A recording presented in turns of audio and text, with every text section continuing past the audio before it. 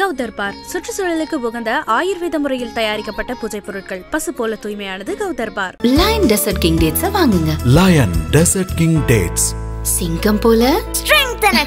தித்திக்கும் தீபாவளி எண்ணம் போல் வண்ணங்களுடன் கொண்டாட. சென்னை சில்க்ஸ் ஆடைகளுடன். Let the celebrations begin. அந்த மலை அளவுக்கு ஒரு உருவம் பெருசா இருக்குது. ஆச்சரியப்படத்தக்கதா இருந்தது. அது இந்த மலைக்கும் அந்த மலைக்கும் அஞ்சனா தேவிக்கும் இன்னொரு மலை அந்தாண்ட இருக்கு. அந்த மலைக்கும் நடுவுல நிக்கிற மாதிரி நிக்குது. அப்படியே ஆச்சரியப்பட்டுட்டு உடனே இப்படிதான் ஒரு அவதாரம் எடுத்திருப்பாருன்னு அதை உள் உணர்ந்த அந்த உருவம் எப்படி இருந்தது? அந்த உருவம் எப்படி நாம நல்லா தூங்கிட்டு இருக்கும்போது யாராவது உங்களை உரசனா எப்படி இருக்கும்? அது உணர தானே முடியும். அதே மாதிரி உணர்வுல உடம்பு முடியெல்லாம் சிலுத்து போகுது. எதுக்கு நிக்குது? என்னடா இவ்வளோ பெரிய மலை மேலே தானடா ஏறணும்? இவ்வளோ பெரிய உருவம் எதுக்கு நிக்குது? நம்ம பார்க்கவே இல்லையேன்ற ஒரு பேர் அதிர்வா இருக்கே தவிர அதை நான் உணர்ந்த முறை வந்து அனுபவிச்ச முறையில் பார்க்கும்போது அந்த ஆஞ்சநேயருடைய ரூபத்தை அந்த அஞ்சனாதேவி மலையிலிருந்து பார்த்தது அவ்வளவு அற்புதமா இருந்தது. நான் போய் எதுக்கு போய் உட்காந்தேன் உட்காந்துட்டு ஐயா அண்ணா. ஒரு எட்டு மாதமாக தமிழ் பேசுனதே இல்லை. யாருமே அங்கே இல்லை. அது நான் வந்து அங்கே தெரிஞ்ச ஹிந்தியில் ஆரம் குறையமாக பேசி கீசி சமாளித்தேன் அங்கேயும் வந்துட்டியா? அன்னு ஒரு வார்த்தை தமிழில் கேட்டால் எப்படி இருக்கும்? காதுக்கு இதெல்லாம் பஞ்சு அடைஞ்ச மாதிரி இருந்த கை கால்லாம் நடுக்குது உதறுது என்ன பண்ணுறதுன்னு தெரியல. ஐபிசி பக்தி நேயர்களுக்கு இனிமையான இந்நேரத்து வணக்கங்கள். நம்மோடு இன்று பேரம்பளவாணன் ஐயா அவர்கள் இணைந்திருக்கிறார். அவரிடம் சித்து நெறி பத்தி நிறைய விஷயங்கள் பேசலாம். ஐயா வணக்கம். வணக்கங்கம்மா. வாழ்க வளமுடன் வாழ்க வையகம். ஐயா உங்களுடைய வாழ்க்கையில நீங்க நிறைய விஷயங்களை வந்து பார்த்து உணர்ந்து அதை பரீட்சித்து இந்த மாதிரி நிறைய விஷயங்கள் பண்ணியிருப்பீங்க குறிப்பாக வந்து உங்களுடைய வாழ்க்கையில் முதல் முதலாக நீங்கள் ஒரு சித்தருடைய அனுபவம் பெற்ற தருணம் அப்படின்றது என்ன? என்ன மாதிரியான அந்த உணர்வை நீங்கள் பெற்றீங்க? இது ஆயிரத்தி தொள்ளாயிரத்தி எண்பத்தி ஒன்பதில் நான் வந்து எழுபத்தேழில் தான் எங்கள் அப்பாவை பார்த்தேன். அதுக்கு பிறகு அவரை பார்க்கவே இல்லை. நான் படித்து முடிச்சுட்டு ஆர்ஆர்பி எக்ஸாம் எழுதி நான் வடநாடு போயிட்டேன். வடநாடில் போய் பஞ்சாபில் இருக்கேன். அது முதல் அப்பாயின்மெண்ட் ஆனோன்னே நான் ஹரிதுவாரில் வந்து குளிக்கிறேன். நான் வந்து ரிஷிகேஷ் வரேன்னு வேண்டிக்கிட்டேன். சரின்னா அதே மாதிரி அப்பாயின்மெண்ட் ஆனேன் நான் ஹரிதுவார் போகிறேன் ஹரிதுவார் போனோன்னே தண்ணி மேலே வந்து சில்லுன்னு இருக்கும். உள்ளே போனால் சூடாக இருக்கும். அந்த புனிதமான தண்ணி அப்படி இருக்கும். கையை வச்ச காலை வச்ச இங்கே வச்சோன்னே அது கொண்டு போய் ஒரு அரை மீட்டருக்கு அந்த ஒரு கொஞ்சம் தூரத்தில் கொண்டு போய் விட்டுரும். அது மாதிரி இழுத்துட்டு போவோம். அது மாதிரி இடத்துல செயினை பிடிச்சிட்டு உள்ளே இறங்குறேன். உள்ளே இறங்கி கண்ணை முறை எங்கள் அப்பா உள்ளே உட்காந்துருக்காரு உள்ளே உட்காந்தோன்னே நான் வந்து சாதாரணமாக தெய்வத்தை நினச்சி இயற்கையாக உள்ளே இறங்குறேன். அப்போ தண்ணியை தான் நினச்சிட்டு இறங்குவோம். நான் எந்த நினைவும் கிடையாது. நன்றி சொல்கிறதுக்காக போனேன். அங்கே போய் நம்ம குளிச்சுட்டு வரலான்னு சொல்லிட்டு போகிறேன் உள்ளே போய் இறங்கினோன்னே எங்கள் அப்பா அப்படியே தத்ரூமாக உட்காந்துருக்கார் உட்காந்துருந்தோன்னே கிடுகிடுன்னு தண்ணியை விட்டு ஏறி இறங்கி அங்கேருந்து வந்து இந்த பக்கம் திரும்பினா அஞ்சனாதேவி இந்த பக்கம் திரும்பினா இன்னொரு தேவியோடைய தரிசனம். இரண்டு மலைகளுக்கு நடுவில் இந்த நதி ஓடுது. உடனே சரின்னு சொல்லிட்டு ஆஞ்சநேயரை ஆஞ்சநேயர் அங்கே தான் அவதாரம் எடுத்தாருன்னு ஒரு இது இருக்குல்ல அஞ்சனா மலை என்ன இருக்கு? அந்த மலையில் நான் போகிறதுக்காக நடந்து போயிட்டுருக்கேன். போகும்போது ஒருத்தர் கூட இல்லை. ஒருத்தருமே இல்லைன்னா ஒரு மனசில் ஒரு அச்சம் இருந்தது. அந்த அச்சத்தோட போயிட்டு இருக்கும்போது திடீர்னு என்னன்னாக்க அங்கேருந்து என் கூட உன்னை கையை பிடிச்சிக்கிட்டு ஒரு ஒருத்தர் வரார். யார் வராரு கையை பிடிக்கிறாரு தெரியுது உணர முடியுது தைரியம் வருது அவரையும் சந்தேகிக்க முடியல. நானும் வந்து வேறு எண்ணங்கள் இல்லை. எனக்கு தேவை அஞ்சனா தேவியோட ம மேலே ஆஞ்சநேயர் எப்படி அந்த இடத்துல வந்து பார்த்தாரு அங்கேருந்து எப்படி பயணிச்சார் இதை பற்றி இது ஆராய்ச்சியில் தான் அதுக்குள்ளே போகிறேன் மலை மேலே ஏறிட்டேன். போனோன்னே ஒரு வெட்டா வெளி வெட்டா இடம் அந்த இடத்துல போய் சூடத்தை கொளுத்திட்டு அங்கே தீபத்தை ஏற்றிட்டு கையெடுத்து கும்பிடுறான். கும்பிட்டா அந்த ரூபம் இன்னும் என் கண்ணுக்கு முன்னாடி நிற்கிது அந்த மலை அளவுக்கு ஒரு உருவம் பெருசாக இருக்குது. ஆச்சரியப்படத்தக்கதாக இருந்தது. அது இந்த மலைக்கும் அந்த மலைக்கும் அஞ்சனா தேவிக்கும் இன்னொரு மலை அந்தாண்ட இருக்குது அந்த மலைக்கும் நடுவில் நிற்கிற மாதிரி நிற்கிது நடுவில் க கங்கை போயிட்டுருக்குது. அப் அப்படி ஆச்சரியப்பட்டுட்டு உடனே இப்படி தான் ஒரு அவதாரம் எடுத்திருப்பாருன்னு அதை உள் உணர்ந்தேன். உணர்ந்துட்டு வெளியில் வந்தேன். வந்த பிறகு நேராக நான் ஆஃபீஸுக்கு வந்தோடனே உடனே புறப்பட்டு நான் தஞ்சாவூர் நாகப்பட்டினம் வந்துட்டேன். அந்த உருவம் எப்படி இருந்தது? அந்த உருவம் எப்படி நாம? அது யார்? உங்களோட உங்களோட கணக்குப்படி அந்த உருவத்தில் தெரிந்தது எந்த கடவுள் அல்லது எந்த பரம்பொருள்? அதாவது அந்த பரம்பொருள்னா எப்படின்னு கேட்டாப்பா அந்த அதாவது உங்கள் மேலே நீங்கள் நீங்கள் இப்போ நல்லா தூங்கிட்டு இருக்கும்போது யாராவது உங்களை உரசனா எப்படி இருக்கும்? அது உணர தானே முடியும். அதே மாதிரி உணர்வில் உடம்பு முடியெல்லாம் சிலுத்து போகுது. எதுக்கு நிற்குது என்னடா இவ்வளோ பெரிய மலை மேலே தானடா ஏறணும்? இவ்வளோ பெரிய உருவம் எதுக்கு நிற்குது நம்ம பார்க்கவே இல்லையன்ற ஒரு பேர் அதிர்வாக இருக்கே தவிர அதை நான் உணர்ந்த முறை வந்து அனுபவித்த முறையில் பார்க்கும்போது அந்த ஆஞ்சநேயருடைய ரூபத்தை அந்த அஞ்சனாதேவி மலையிலிருந்து பார்த்தது அவ்வளோது அற்புதமாக இருந்தது. எனக்கு ஒரு அது வந்து இதை வந்து எல்லா மனிதர்களும் தனக்குத்தானே உணர்ந்தால் மட்டும்தான் அதை உணர முடியும். இதை நான் உணர்ந்த உணர்ந்த பிறகு அவர்கிட்ட வேண்டிக்கிட்டு பத்திரமா கொண்டாந்து கீழே வந்த பிறகு திரும்பி பார்க்குறேன் இந்த மலையிலையா நான் ஏறி இறங்கினேன்? எனக்கே ஆச்சரியமாக இருக்குது ஏன்னு கேட்டால் போயிட்டு வந்துட்டீங்களா? அன்னு எல்லாரும் ஆச்சரியமாக கேட்குறாங்க அவ்வளோ துணை இல்லாத யாரும் அங்கே போக முடியாது நாங்கள் எனக்கு வழிநெடுக அழைச்சிட்டு போய் என்னை கொண்டாந்து விட்டு எனக்கு வந்து ஒரு திருப்தி கொடுத்து அனுப்புனது அஞ்சனாதேவி. அங்கே இருந்த ஆஞ்சநேயருடைய அனுகிரகம். நான் அதுக்கு பிறகு சரி ரிஷிகேஷ் போகலான்ட்டு ரிஷிகேஷ் போனேன். ரிஷிகேஷில் வந்து முன்னாடியில் வந்து ரெண்டு பாலம் இருக்குது லக்ஷ்மண் ஜூலா ராம் ஜூலான்னு ரெண்டு ஜூலான்னு ஜூலான்னா அந்த ந நடுவில் போட்டிருக்க பாலம். அந்த பாலத்தில் போகும்போது எங்கள் அந்த பார்க்குக்கு போயிட்டு வாங்கன்னாங்க. ராமருடைய பார்க் ஒன்று இருக்குது அங்கே போங்கண்ணா. அந்தாண்ட கரையில் போய் ராமருடைய பார்க்கை போய் பார்த்துட்டு அங்கேருந்து வரும்போது ஒரு மனிதர் நான் சந்தேகப்படுற மாதிரி இருந்தது. சரி சந்தேகப்படுற மாதிரி இருக்கேன்னு சொல்லிட்டு அவர் பின்னாடியே போனேன். அங்கே போகும்போது நான் கேட்டேன் ஐயா இது இந்த இடத்துல எங்கே போகிற பாதைன்னு கேட்டேன். என்னை திரும்பி பார்த்துட்டு வாய் திறக்கல. சரி அவரை டிஸ்டர்ப் பண்ணக்கூடாதுன்னு சொல்லிட்டு அவர் என்ன செய்கிறான்னு பார்த்துருந்தேன். ஒரு செம்பு தட்டில் அப்படியே தண்ணி எடுத்துகிட்டு வந்தார். வச்சார். திடீர்னு கையெடுத்து கும்பிட்டாரு. இப்படின்னாரு இப்படின்னாரு. கீழே நெருப்பு எரியுது. எனக்கு ஒரு பக்கம் பயம் இன்னொரு பக்கம் அதை பார்க்குறேன் என்னடா சாதாரண மனிதர் தானே? எந்த இடத்துல வச்சு ரிஷிகேஷுக்கும் அந்த அதாவது நீலகண்டேஸ்வர ஸ்தலம் போகிற மலைக்கு கீழே அது உருளைக்கிழங்கெல்லாம் போட்டிருப்பாங்க அந்த இடத்துல. அதுக்கு கீழே ஒரு மூணு கல் இருக்குது அப்புறம் நான் ஒத்துக்க முடிக்கும் தட்டை தான் கொண்டாந்து வச்சதை நான் பார்த்தேன். இது மேலே சந்தேகம் வந்த பிறகு பார்த்தா மூணு கல் இருக்குது மூணு கல்லுக்கு நடுவில் விறகு இருக்குது விறகுல அந்த தீ எரிஞ்சிக்கிட்டு இருக்கு. அதுக்கு மேலே இந்த தட்டில் சாப்பாடு கொ- கொதிச்சுக்கிட்டு இருக்கு. எப்போ நான் சந்தேகப்பட்டேன்னா அதுக்கு பிறகு இதெல்லாம் காட்டுது. அதுக்கு முன்னாடி பார்த்தா எரிஞ்சிக்கிட்டு இருந்தது தான் காட்டுது அதுக்கு பிறகு அந்த சாப்பாடை எடுத்தார். துணி கூட இல்லாத இவர் கையால் எடுக்கிறாரு அப்படின்னு சொல்லிட்டு எடுத்து வச்சார். எடுத்து வச்சுட்டு என்ன பண்ணேன்னா நான் இந்த பக்கம் உட்காந்துருந்தேன்னா திரும்பி உட்காந்துக்கிட்டார் உட்காந்து அதை எடுத்து சாப்பிட்டுக்கிட்டு இருந்தார். நான் போய் எதுக்கு போய் உட்காந்தேன் உட்காந்துட்டு ஐயா அண்ணன் அதுவரையும் நான் பல ஒரு எட்டு மாதமாக தமிழ் பேசுனதே இல்லை. யாருமே அங்கே இல்லை. அது நான் வந்து அங்கே தெரிஞ்ச ஹிந்தியில் அறங்குறையமாக பேசி கீசி சமாளித்தேன். இங்கேயும் வந்துட்டியா? அன்னு ஒரு வார்த்தை தமிழில் கேட்டால் எப்படி இருக்கும்? காதுக்கு இதெல்லாம் பஞ்சு அடைஞ்ச மாதிரி இருந்த காதுக்குள்ளே இங்கேயும் வந்துட்டியான்னாரு. அவ்வளோதான் கை கால்லாம் நடுக்குது உதறுது என்ன பண்ணுறதுன்னு தெரியல. உடனே புறப்பட்டு கையெடுத்து கும்பிட்டுட்டு அந்த ஒரு மாதிரி வெக்கமும் மன பயமும் அதோடு புறப்பட்டு நீலகண்டேஸ்வர ஸ்தலம் போகிறேன் அங்கே பார்வதி தேவி என்னன்னாக்கா அடிக்கடி சிவபெருமான் தவத்துக்கு வந்துடுவார். அந்த தவம் இருக்கிற இடம் தான் அந்த நீலகண்டேஸ்வர ஸ்தலம். அங்கே வரும்போது ஏழு சப்த ரிஷி மண்டலம்னு இருக்குது அந்த சப்த ரிஷி மண்டலத்தில் அங்கே வந்து பார்வதி இருந்துக்கிட்டு சிவனை கூப்பிடுறதுக்காக வந்து நிற்கிறதா ஐதீகம். அந்த மலையில் சப்தரிஷி மண்டலத்திலேருந்து இந்த இடம் பதினாலு கிலோமீட்டர் நடக்கணும். பதினாலு கிலோமீட்டர் நடந்து மேலே போன சாயங்காலம் ஆயிடுச்சு. போனோடனே அந்த சிவனுக்கு வந்து தண்ணி சொட்டும் ஒரு சொம்பில். அது துளிகள் விழுந்துக்கிட்டே இருக்கும். அந்த துளிக்குள்ளே தான் அவர் உட்காந்துருப்பார் அந்த துளிகள் சேர்ந்து சேர்ந்து சேர்ந்து ஒரு சின்ன நதி மாதிரி வரும். அதில் கையால் மொண்டு தலையில் வச்சுக்கணும். உடம்பெல்லாம் குளிக்கணும். அதில் தான் நிறைய சித்தர்கள்லாம் அதுக்குள்ளே உட்காந்துருக்காங்க விதவிதமாக உட்காந்து என்ன பண்ணுறாங்க அங்கங்கேயும் உட்காந்து வாங்கி வாங்கி ஊற்றிக்கிறாங்களே நினச்சிட்டு நான் போனேன். நேராக போனேன்னு என்னமோ நான் தெரிஞ்ச வீட்டுக்கு போகிற மாதிரி. நேராக போனேன். ஒருத்தர் என்ன செஞ்சார்? ஒரு அடையை கையில் கொடுத்தாரு. சாப்பிட சொன்னார். அதுக்கு பிறகு இங்கே படுன்னு சொல்லிட்டு ஒரு துணியை கொடுத்தாரு. அந்த துணியை போட்டு படுத்துக்கிட்டேன். தூக்கம் வரல. ஏன் தூக்கம் வரலன்னா ஆச்சரியமாக இருக்குது இவ்வளோ பெரிய பதினாலு கிலோமீட்டருக்கு மேலே உச்ச மலையில் அப்படியே எல்லாரும் ஆடைகளே இல்லை. எல்லா சித்தர்களும் நிறைய பேர் இருக்காங்க. நான் வந்து பார்த்தேன் என்னடா நம்ம அதிசயமாக இருக்கிற மாதிரி இருக்கேன்னு எனக்கு நானே சந்தேகம் வருது.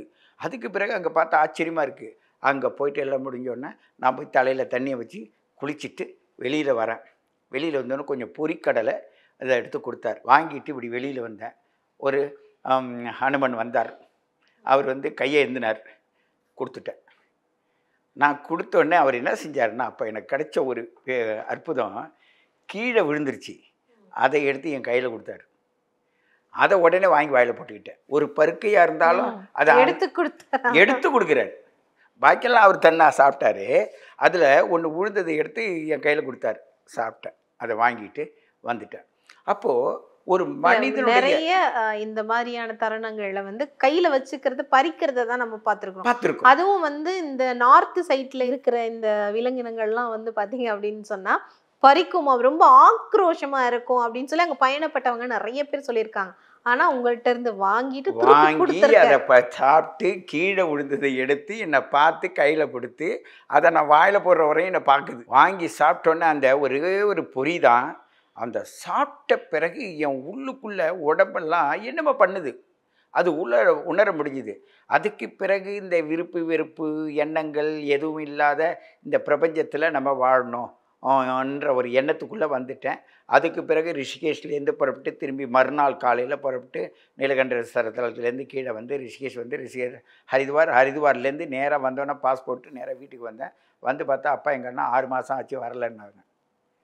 அப்பா ஆறு மாதமாக வரலன்னாங்க. சரின்ட்டு உள்ளே போயிட்டு சரி நான் எப்பொழுதுமே ஒரு பை வச்சுருப்பேன் அதில் ஒரு துண்டு வச்சுருப்பேன். நான் ட்ரெயின்லேயே குளிச்சிடுவேன் வந்து வீட்டுக்கு வந்துடுவேன். மூணு நாள் பயணம் பஞ்சாப்லேருந்து இங்கே வர்றதுக்கு. அதுக்குள்ளே போயிட்டு மற்ற மூணு நாள் ஏழு நாள் தான் லீவ் கிடைக்கும். அதுக்குள்ளே இந்த சனியார் வச்சுட்டு ஒரு நாளில் புறப்பட்டு போயிடுவேன். அப்படி அங்கேருந்து வந்தோடனே நான் உடனே கொஞ்சம் படுத்து இருந்துட்டு எழுந்திரிச்சு போகலான்னு படுக்கிறேன். எங்கள் அப்பா வர்றாரு. நேராக வந்து பாப்பா இப்போ வந்தேன்னாரு அப்பா அண்ணன். நான் பேச மாட்டேன். ஆனால் வணக்கப்பான்னாரு. என்ன பண்ணார்? காலில் விழுந்தேன் காலில் விழுந்தோன்னே தரிசனம் கிடச்சிதான்னாரு. எப்படி பாருங்க. அப்படியே கண்ணில் தண்ணி வருது வாயிலேருந்து வார்த்தை வரல. நாங்கள் ரெண்டு பேரும் பேசுறது எங்கள் அம்மாவுக்கெல்லாம் புரியல. உடனே அவங்க என்ன சொல்கிறாங்க பிள்ளை ஊர்லேருந்து வந்திருக்கான். அவனை சாப்பிட விடுங்க. என்ன? அதை தான் அவங்க சொல்கிறாங்க ஆனால் இவங்க நாங்கள் பரிபாசைகள் மாதிரி பேசுகிறோம் அது முடிக்குது. நேராக என்னன்னாக்கா கொஞ்சம் நான் படுத்துட்டேன். படுத்து எழுந்திரிச்சு புறப்பட்டு நான் வந்துட்டேன். இதுபோல் நார்த் இந்தியாவில் நடந்தது இல்லாத அண்ணாமலை திருவண்ணாமலைக்கு போனேன். திருவண்ணாமலைக்கு போனோன்னே பெரியவர் ஒருத்தர் வந்து மலை மேலே இருந்தார். அவர் வந்து யாரும் போய் தரிசிக்க முடியாது. போனால் பேரிச்சம்பழம் எடுத்துகிட்டு போகணும் கற்கண்டு எடுத்துகிட்டு போகணும். அவர் வந்து ஏதாவது கல்லால் அடித்தா பெரிய யோகம் கிடைக்குன்னாங்க சரி என்கிட்ட ஒன்றும் இல்லை. எண்ணம் தான் இருந்தது. எண்ணத்தை மாத்திரம் எடுத்துக்கிட்டு நான் மட்டும் போனேன். பாதி மலை போனேன். கை க மூச்சு இறக்கிது மூச்சு வாங்குது நடக்க முடியல. நெடுக அந்த ஆஞ்சநேயருடைய அதுதான் அவங்க தான் நிற்கிறாங்க வரிசையாக போனால் கையை காலெல்லாம் தோன்றுறாங்க இழுக்கிறாங்க பார்க்குறாங்க ஒன்றும் இல்லையா? அப்படியே போடுது. அங்கே இருக்கும்போது அப்போ நான் நினைக்கிறேன் என்னய்யா உங்களை பார்க்க வரேன் எனக்கு தொண்டையெல்லாம் வறட்சியாக இருக்கா. சரி பரவாயில்ல செத்தா பரவாயில்ல அண்ணாமலையாட்டையே வந்து செத்துட்டோம் நான் நினச்சிட்டு போகிறேன் ஒருத்தர் ஐயா கொஞ்சம் நில்லுங்கன்னாரு. இதை நினச்சி முடிச்சோன்னே அவர் நில்லுங்கன்னாரு. நான் இப்போ தான் ஒரு மலைக்கு போனேன். அங்கே போயிட்டு பிரசாதம் எடுத்துகிட்டு வர்றேன். இந்தாங்க கல்கண்டு வாயில் போட்டுங்க.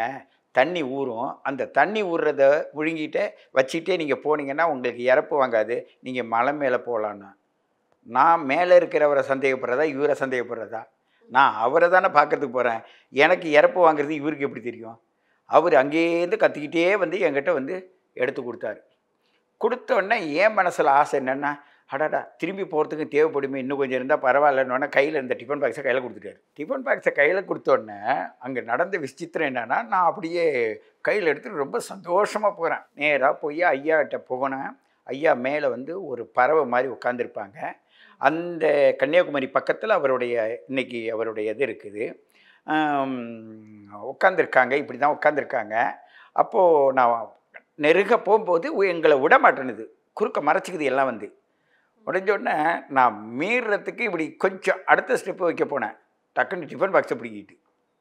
டிஃபன் பாக்ஸை பண்ணிட்டு ஐயாவோட தரிசனத்தை பார்க்கறதுக்கு கையெடுத்து கும்பிட்டுக்கிட்டு நிற்கிறேன் உடனே என்ன செஞ்சதுனாக்க டிஃபன் பாக்ஸில் பிடுங்கினதில் விட்டோடனே எல்லாம் செதறி கொட்டுது. எல்லாம் உருண்டு ஓடுது. மற்றதெல்லாம் அதை பொறுக்க போகுது. ஆனால் என்ன மாத்திரம் விட மாட்டேனுது டிஃபன் பாக்ஸை பிடிக்க போட்டு ஐயாட்ட விட மாட்டேது அப்போ அவருடைய தரிசனம் ஹர ஹர சிவ சிவா. ஒரு அட்டையில் இங்கே எழுதியிருக்காரு. ஹரஹர சிவ சிவா சிவ சிவ ஹரஹர இந்த ஹரஹர சிவசிவான்ற மந்திரத்தை நான் எங்கே கேள்விப்பட்டேன்னா காசி விஸ்வநாதர் கோயிலுக்கு போகிறேன் அங்கே போய் கங்கையில் குளிக்கிறேன். குளிச்சுட்டு வெளியில் வரேன். அந்த இடத்துல அங்கே குளிச்சுட்டு வரும்போது பார்த்தா ஹரஹர சிவ சிவ சிவ சிவ ஹரஹரன்னு சொல்லிட்டு குரூப் குரூப்பாக போகிறாங்க அந்த குரூப் குரூப்பாக போகிற அந்த சத்தத்தை காதில் வாங்கும்போது கண்ணுக்கு முன்னாடி துகள்கள் மாதிரி பறக்குது. அந்த துகள்குள்ளே அந்த சிவலிங்கத்தோட உருவத்தை வந்து இந்த க நம்மளாம் ஆர்டிஃபிஷியலாக செய்வாங்கல்ல? இப்பெல்லாம் செஞ்சு நிறைய காட்டுறாங்க. அப்போ எழு எண்பத்தாறு எண்பத்தெட்டு எண்பத்தொம்பதுல எல்லாம் இந்த இந்த அளவுக்கு டெவலப்மெண்ட் இல்லைல்ல? அதை நான் அப்போவே பார்க்குறேன் அந்த ஆ. அந்த ஒலி அந்த சத்தம் கேட்குது ஒரு மின்னல் வேகத்தில் பொறி பொறி பறக்கிற மாதிரி இருக்கு. நடுவில் வந்து சிவதாண்டவன் தெரியுது. அந்த சத்தம் கேட்குது இந்த சத்தத்தை வந்து பிறகு நான் போ போகும்போது பார்த்தது. திருவண்ணாமலைக்கு நீங்க திருவண்ணாமலைக்கு போகிறது அதே சத்தத்தை இங்கே கேட்குறேன் அப்போ உள்ளே இருக்கிறவர் யார்? அண்ணாமலையாருடைய தவத்துக்குள்ளே இருக்கிறாருன்னு நல்லா தெரிஞ்சு போச்சு. அவருக்கு பால் எடுத்துகிட்டு போகிறதும் அவருக்கு வந்து பேரிச்சம்பழம் கொடுக்கறதும் ஒரு போவாராம் வருவாராம். நான் அது வந்து நான் அவர்கிட்ட தான் வெளியில் வந்த பிறகு விளக்கம் கேட்டேன். நீங்கள் எப்படியா டிஃபன் பாக்ஸ் அவ்வளோ தூரம் எடுத்துருக்கீங்க என்கிட்ட ஒன்றுமே சொல்லிங்க நான் வரும்போது பிடிங்க எல்லாத்தையும் விசிரிச்சிட்டு இருந்தேன். அதோட விஷயம் நான் கேட்டால் அவரை தரிசனம் பண்ணேன். பண்ணோன்னே அங்கே எதுவுமே கிடைக்கல. அவர் உட்காந்துருந்தார் கவனம் யாரும் முகத்தை கூட அண்ணாந்து பார்க்க மாட்டார். அவர் மாட்டில் உட்காந்துருப்பார் பக்கத்தில் வந்தவர் என்ன செஞ்சார்? ஐயா போதும் வாங்க போகலாம்னாரு உடனே இது கையை கோத்துக்கிட்டு நிற்கிதே உள்ளே விட மாட்டேனதே சரின்னு சொல்லிட்டு திரும்பிட்டோம். கொஞ்சம் தூரம் வந்தோடனே ஐயா நான் கொஞ்சம் நீங்கள் கொடுத்தீங்க. ஒரு இதாக நான் பாக்கெட்டில் போட்டுங்க. நல்ல வேலையை நீங்கள் பாக்கெட்டில் போ பாக்கெட்டில் போட்டு தான் சட்டையெல்லாம் கழட்டி விட்ருவோம் நல்ல வேலை கையில் வச்சுருந்தீங்க என்ன? சரின்னு சொல்லிட்டு அங்கேருந்து போகிறேன் கொஞ்சம் தூரம் போச்சு. ஐயா அடித்தா அவங்க கோடீஸ்வரர் ஆவாங்க. ஆன்றது தான் அங்கே உள்ள ஐதீகம்னு எல்லாரும் போய் ஐயாவை தரிசனம் பண்ண போகிறாங்க ஆனால் நான் என்ன நினச்சிட்டு போனால் நான் மக்களுக்கு பயன்படாத நான் இருக்கிறேனே இந்த ஜீவன் எதுக்கு? என்ற இந்த கேள்வி கேட்டேன். இன்னைக்கு ஐபிசிக்கு முன்னாடி இத்தனை மக்களுக்கு முன்னாடி என் அனுபவத்தை சொல்கிறேன் அப்போ அது என்ன செஞ்சதுன்னா அது ஒரு கற்கண்டை எடுத்து என் மண்டையில் நச்சுன்னு அடிச்சுது. அடியை வாங்கிட்டு திருப்பி பார்க்குற கற்கண்டு. ஒன்று கூட எடுத்து வைக்கலேன்னு தானே சொன்னேன்.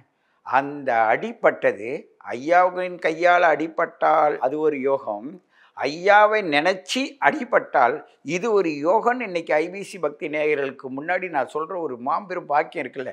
உலகங்களில் நான் என்னுடைய வார்த்தை கேட்குறது இந்த அனுபவத்தை சொல்கிற ஒரு பாக்கியம் இருக்குல்ல. இதுவே எவ்வளோ பெரிய சிறப்பு. அந்த கற்கண்டு செஞ்ச வேலை. இது ஒரு முறை இப்படி நடந்தது. நான் என்ன பண்ணேன்னாக்க நீங்கள் எல்லோரும் கே பூண்டி மகான்னு கேள்விப்பட்டிருப்பீங்க. அந்த பூண்டி மகான்கிட்ட என்ன பண்ணேன்னாக்க அப்படியே ஆனால் ஆஃபீஸில் வேலை செய்வேன். சனி ஞாயிறாக இருந்தால் புறப்பட்டு ஓடி போயிடுவேன் அப்படி ஓடி போய் எங்கேயாவது மகான்கள் இருக்கிற இடத்துக்கு போவேன். அப்படி போகும்போது அங்கே போயிட்டு என்ன பண்ணேனாக்க போய் ஐயா நைட்டு தங்கிக்கலாமான்னு. இங்கே யாரும் தங்கக்கூடாதுன்ட்டாரு. ஐயா அந்த வாசலில். அண்ணா கூடாது கூடாதுன்னு. அன்ட்டார். ஐயா அங்கே தான் இருந்தாங்களாம். அதுக்கு பிறகு தான் கொண்டாந்து வச்சுருந்தாங்க. இல்லையா காலையில் அபிஷேகம் பண்ணிவிட்டு நான் போகிறேன் அண்ணன் என்ன அபிஷேகம் பண்ணோம் நீங்கள் சொல்லுங்க ஐயா ஒரு பத்து கிலோ பால் வாங்கி தர முடியுமான்னாரு. இந்தாங்க ஐயா பணம். இங்கே வாங்கி இல்லை இல்லை இந்த பால்கார் அங்கே இருக்காரு அவர்கிட்ட சொல்லுங்கன்னாரு. சரின்னு நான் சொல்கிறேங்க காலைல வாங்கி தரேன். அப்படியே படுத்துக்கொண்டாரு உடனே நான் சொன்னால் பனி குளிர் தாங்கலை. அப்போ படுக்கும்போது ஐயாவுடைய ஐயா வச்சுருக்க இடத்துக்கு வெளியில் ஒரு கால் மிதி இருக்குல்ல அந்த கால் மிதியில் படுத்திருக்க ஒரு புறம் பயம் இருந்தது. இடமே இல்லைன்னும் போது பயம் போச்சு. அந்த படிக்கட்டில் பத்து நாள் படுத்திருந்தேன். இரவு பகல் அங்கேயே தான் உட்காந்துருந்தேன் ஏன்னு கேட்டால் ஐயா எப்படி இருந்தாருன்னா அந்த ஒரு அந்த இடத்துல ஒரு பழம் ஒன்று இருக்குது சப்பாத்தி கல்லின்னு பேர். அந்த சப்பாத்தி கல்லி பழத்தை தான் அவர் சாப்பிட்டு தவத்தில் இருந்ததாக அங்கே உள்ளவங்க சொல்லுவாங்க. அந்த சப்பாத்தி கல்லி பழத்தை நான் சாப்பிட்டது மாதிரி எனக்கு ஒரு உணர்வு வரும். அங்கே இருப்பேன். பசிக்காது ஒன்றுமே தெரியாது. அந்த பராமரிக்கிறவர் மட்டும் ஒரு வேளை சாப்பாடு கொடுப்பார். நான் ரெண்டு நாள் போனேன்னா பத்து நாள் அங்கே தங்கிட்டேன். தங்கிட்டு வரும்போது சொன்னார் வெள்ளையங்கிரி சாமியார்னு கொஞ்சம் ஒருத்தர் இருக்கார். அவர் உங்களுக்கு தெரியுமான்னாரு. அவர்கிட்ட நான் தீட்சை வாங்கினேன். அப்படியா நீங்கள் அவரை பார்க்கலாமேன்னாரு. நான் சொன்னேன் அவர் ஜீவன் பத்து.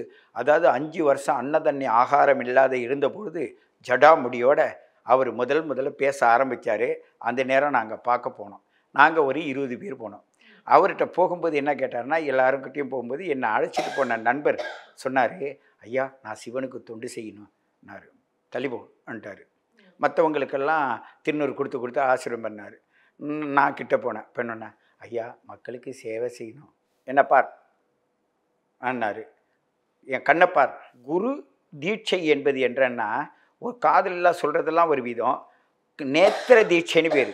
கண்ணுக்கு கண் பார்த்து மனசு தூய்மையாக இருந்தால் அவங்களுக்கு தெரிஞ்சிடும் தப்பு பண்ணால் அந்த கண்ணு பார்க்காது பயப்படும். அதை வச்சு அவர் பாருனார். பார்த்தா அவரோட ஒளி வந்து சிங்கமா இல்லை புளியா எதுன்னே தெரியல. ஐயாவை காணும். ஜட்டாமுடியோட உட்காந்துருக்காருன்னு உணர்வு இருக்குது ஆனால் ஆளை காணோம். அந்த ஒளி மாத்திரம் பளிச்சு பளிச்சுன்னு அடிக்குது. கண்ணில் கூசுது. நான் அப்பயும் விட்டாத பார்த்துக்கிட்டே இருக்கேன். ஒருத்தனா திருநூறு எடுத்து ஓங்கி ஒரு அடி அடிச்சு தலையில் பூசி விட்டு போனார். அந்தரம் போயிட்டேன் என் பின்னாடி இவர் போனார் பாருங்கள் நான் ஐயாவுக்கு சேவை நாங்கள்லாம் வந்து சிவபக்தர்கள்னு சொல்லிட்டு இங்கே எல்லா கோவிலுங்களுக்கு போய் சேவையெல்லாம் பண்ணுவோம் சாப்பாடெல்லாம் கட்டிக்கிட்டுலாம் போவோம். சென்னையில் இருக்கிற நிறைய இடத்துல. அவர் என்ன பண்ணிட்டாருனாக்கா டக்குன்னு அவர் போய் கேட்டோன்னே முடிவு பண்ணிட்டியான்னாரு.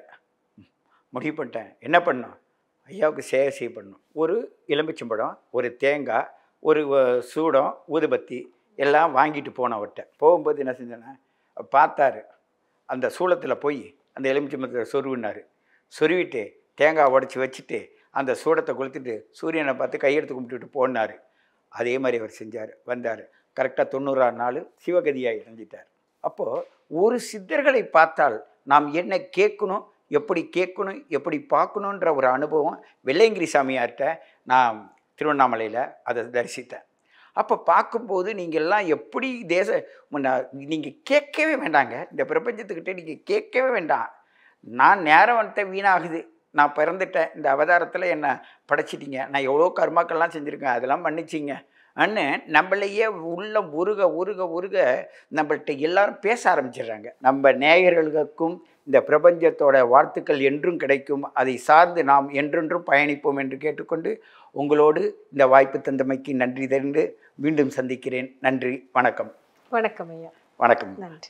வணக்கம். கௌதர்பார் சுற்றுச்சூழலுக்கு உகந்த ஆயுர்வேத முறையில் தயாரிக்கப்பட்ட பூஜை பொருட்கள். பசு போல தூய்மையானது கௌதர்பார் லயன் டெசர்ட் கிங் டேட்ஸ வாங்குங்க. லயன் டெசர்ட் கிங் டேட்ஸ் சிங்கம் போல? தித்திக்கும் தீபாவளி எண்ணம் போல் வண்ணங்களுடன் கொண்டாட. சென்னை சில்க்ஸ் ஆடைகளுடன். The celebrations begin.